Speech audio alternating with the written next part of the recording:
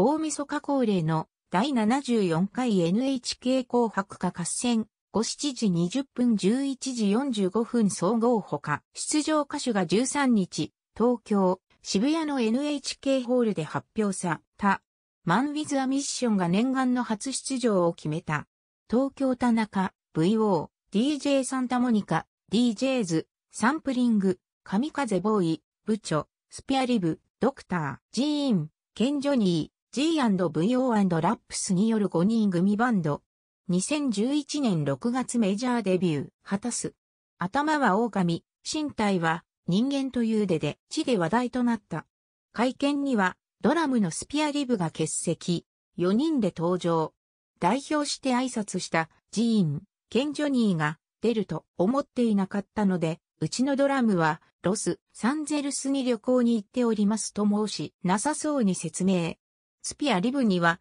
メッセージで初出場らせたそう。そのリアクションについてとは、ルと時差の関係でまだ読んでいないんじゃ、いかと思いますと明かし、笑いを誘った。阻止、視聴者として見てきた側なので、こんな機会、非常に光栄で幸せですし、日本中が一年を振り、って、期待や希望を込めて行う祭典の雰囲気、味わうだけでも幸せだと思うので、当日はみゆきを噛み締めたいと思いますと、意気込み、何か一つ面白いことをできたらなと思いますと、街を高めた。初出場、50音順は、赤組は、新しい学校、リーダーズ、 Ado、あの、伊藤蘭、 MISAMO、白組は、大泉洋、キタニタツヤ、すとぷり、 Stray Kids、 SEVENTEEN、10-FEET、 MAN WITH A MISSION、 Mrs. GREEN APPLE となった。司会は、有吉弘行、橋本環奈、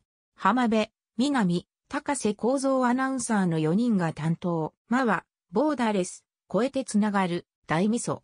昨年は、白組が3年ぶりに優勝し、赤組33勝、白組40となっている。赤組、あいみょん、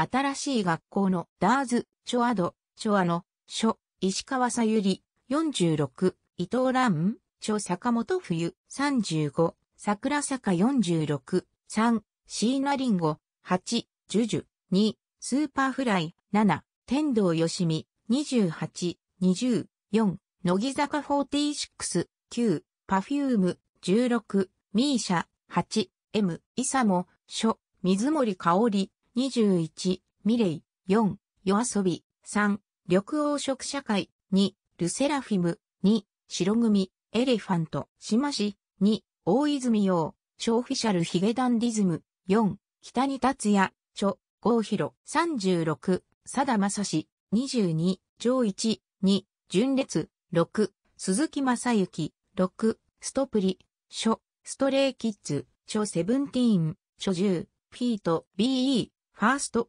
2、福山雅治、16、藤文也、6、星野源、9、マンウィズ・ア・ミッション、書、ミセス・グリーン・アップル、書、宮間博士、9、山内圭介、9、ゆず、14、